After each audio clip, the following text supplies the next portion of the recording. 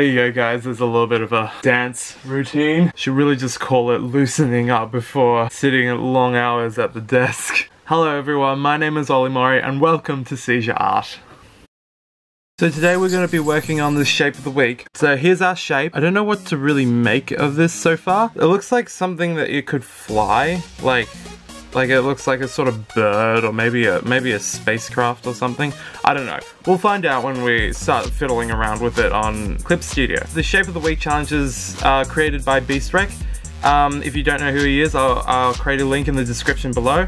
Um, he's a really good artist, so go check him out. So yeah, let's get started and start brainstorming our shape.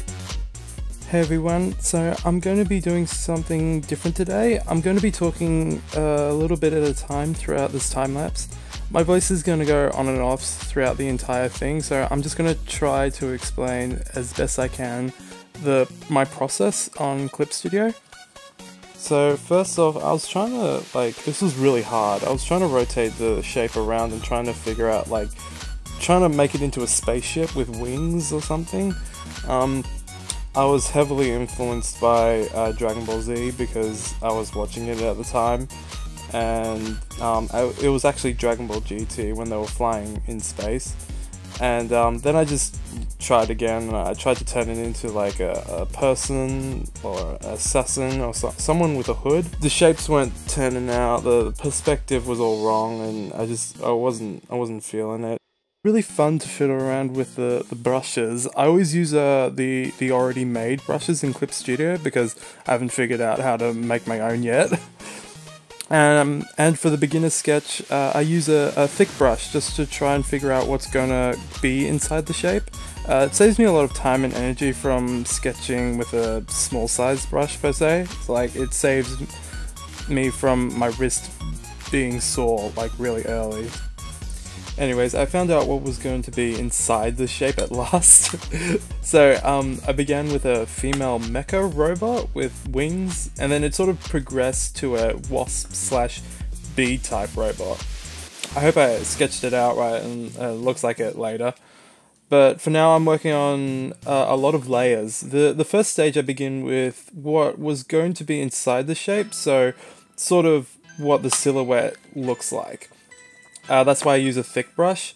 Then, um, then I lower the opacity down and create a new layer over the top of that. Now, this layer decides where everything's going to go. I, I sketch out the, a finer brush where all the metal parts are and all the mechanicry. So yeah, I drew inspiration from like a like a bee or a wasp. So this sort of turned out to be like a like a insect robot wasp type of thing.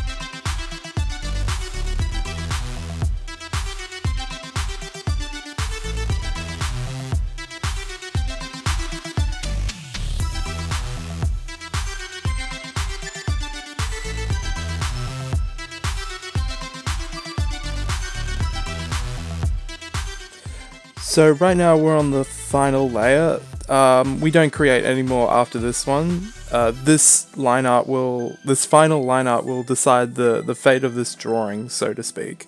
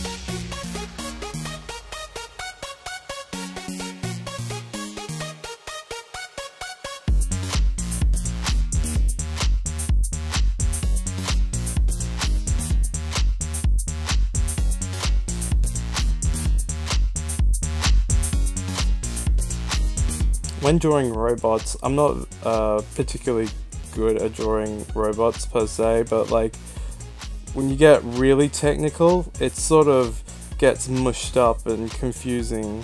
Um, so I try not to think about all the the inner workings of the robot. I try to like create co- as like cogs and wheels, but it's sort of important to make sure that they they look like they make sense. They don't have to make sense in your mind, but they it just sort of has to look like they make sense in a way. I don't know if that makes any sense. Yeah, it's um I put some fur on the on the bee robot so that it will look like it was a bee. so the line art is almost done. With the wings, I kind of I kind of like the wings a lot. Um, they, they were a lot of fun to do. I, I thought they made the try and make them like blades. So the next step I did was fill in the whole thing with a base color, or usually it's just the color that you're going to see the most in. Um, for this one it was yellow because it was a bee. Uh, now I'm filling up the complex mechanicry. Um, a little trick you can do, make it look like there's a whole bunch of inner metal workings, just draw a bit of like cogs and wheels and then fill the rest in with black so that it looks like there's more to it inside, but it's just hiding in shadow. I drew on, was it like barcodes on like plates, on a number of the plates, so that it's like each one is like separate and unique to to the like they have to like it's like an IKEA. Like when you're trying to assemble it each one has a barcode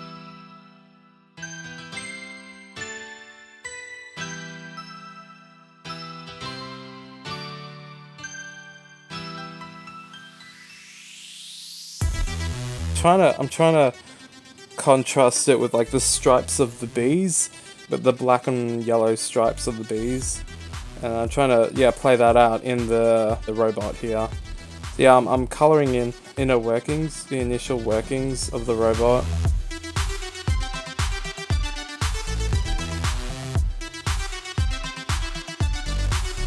And I'm only going to work with the, the base color and the highlights. I'm not going to put any shadows in there because this actually, I lied before, I, this actually did take a while. It felt shorter than it was. Um, I liked it, it looked good uh, either way, I think. I also thought like if I add too much detail, if I added like highlights and shadows, it would probably look messy with all the machinery. Yeah, you can see all the mechanics inside looked um, a little bit scrambled.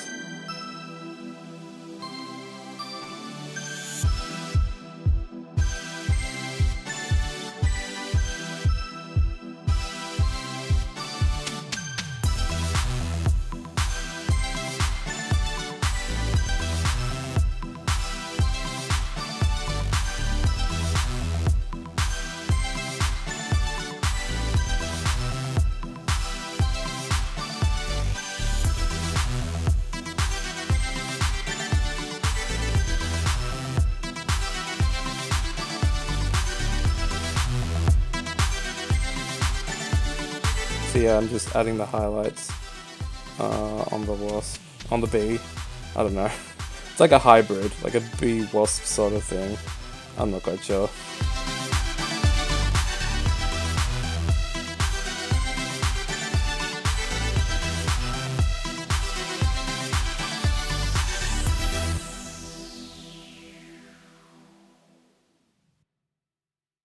So I made with the, the different brush.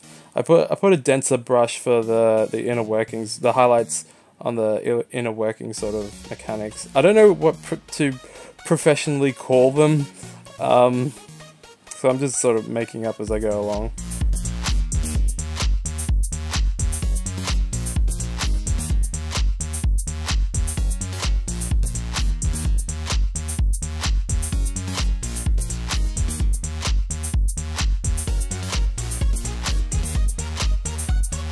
Putting the, the labels in properly because um, I didn't do that last night, last time and uh, people didn't really get it. Yeah, but overall this was a really fun experience. Way different than the last time. I think the last time uh, was a fluke, but um, this one was really challenged my imagination, or lack thereof.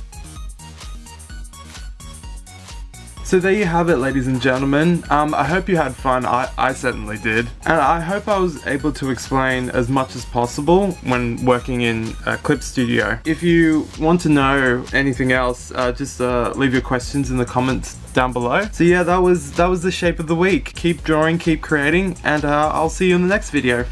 Bye! Hey everyone, thanks again for watching the Shape of the Week.